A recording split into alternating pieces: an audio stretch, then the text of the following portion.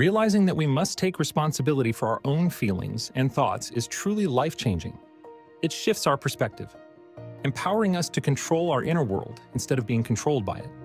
This idea is central to many philosophical traditions, from Stoicism to existentialism, and aligns with modern psychology.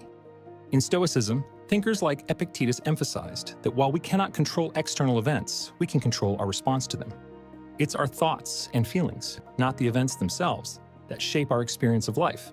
By taking responsibility for our internal reactions, we liberate ourselves from being victims of circumstance, choosing instead to respond with emotional resilience. Existentialists like Jean-Paul Sartre also stressed personal responsibility. Sartre believed we are always responsible for our choices, even in the face of uncertainty.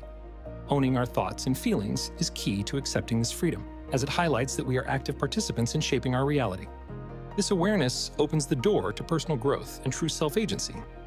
In modern psychology, particularly cognitive behavioral therapy, CBT, we learn that our thoughts directly influence our emotions and behaviors. Taking responsibility for how we interpret the world allows us to break free from negative patterns.